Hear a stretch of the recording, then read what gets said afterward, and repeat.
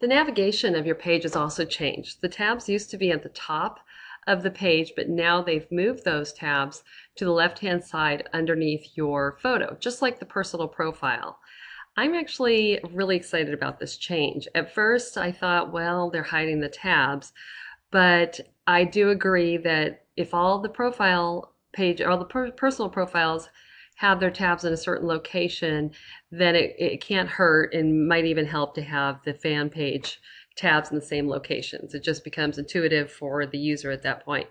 But more importantly, you you are now able to arrange and hide your tabs and actually uh, let me show you. It's kind of exciting. So let's come on down here. So there's your tabs. And you're probably thinking, well, gosh, uh, nobody's really going to take notice. But we never before had the um, opportunity or the chance to change the order of our tabs. If you, hold on, I'm going too quick. So right beneath all your tabs in the left navigation, click on More. All your tabs will show up. Then you want to click on Edit. And then as you hover over each one, first you're going to see these X, the X. If you're to click on an X, it'll say Hide YouTube.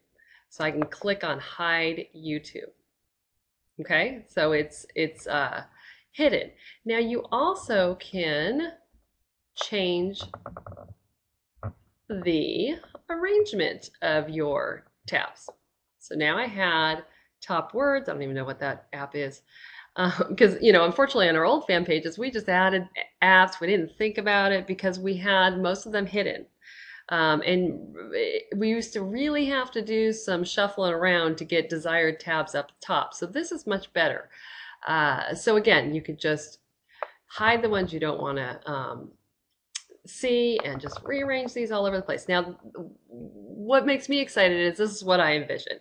Let's say you want to have I think there's six tabs, five tabs that you can control and arrange and hide this, that.